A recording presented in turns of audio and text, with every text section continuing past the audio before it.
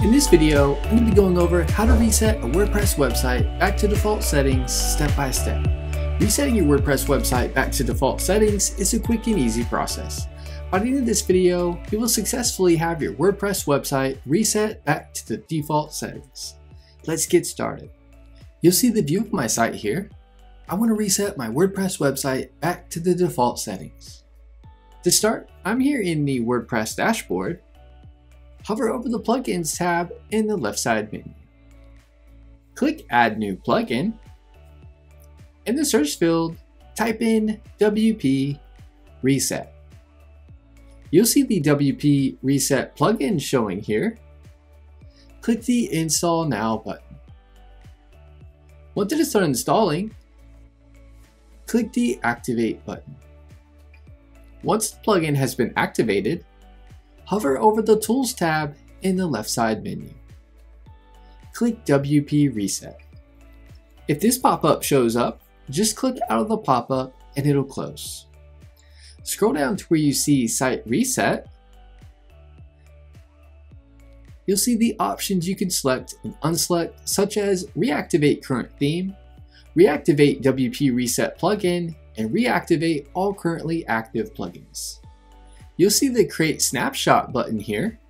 This will back up your site and take a snapshot of your WordPress website as it is now. If you think you might want to revert back to this version for any reason, I recommend taking a snapshot so you don't completely lose your site when we reset it. If you'd like to do this, click the Create Snapshot button. You can enter a name for your snapshot to what you'd like. Click the Create Snapshot button it'll begin creating a snapshot of your WordPress website. Now let's reset our WordPress website back to its default settings. If you create a snapshot, you want to keep the Reactivate WP Reset plugin selected so that the plugin stays installed on the WordPress Reset version in case you want to go back and restore your site. If you don't need the snapshot, you can keep this unselected. Type in reset in the search field click the Reset Site button. A notification will pop up. Click the Reset WordPress button. It'll begin resetting your WordPress website back to the default settings. Once it is done, you'll be taken to the WordPress dashboard. You'll see your site has been successfully reset to default settings. I'll hover over my site title name at the top and click Visit Site you'll see the WordPress theme has now been changed back to the default WordPress theme. If you want to restore your site back to the WordPress version, where we took a snapshot before the reset, here's what to do.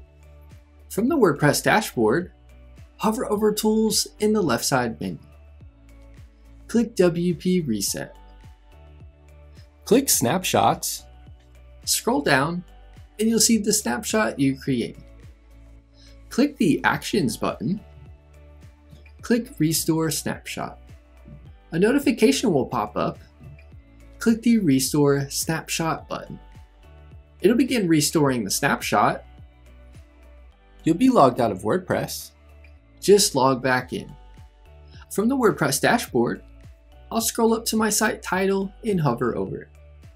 I'll click Visit Site, and you'll see your site has been restored to the snapshot you had created. That is how to reset a WordPress website back to default settings. Give this video a thumbs up and leave us a comment letting us know if the tutorial was helpful or not as the comments help improve our tutorials. Be sure to subscribe to our channel for more WordPress tutorial videos.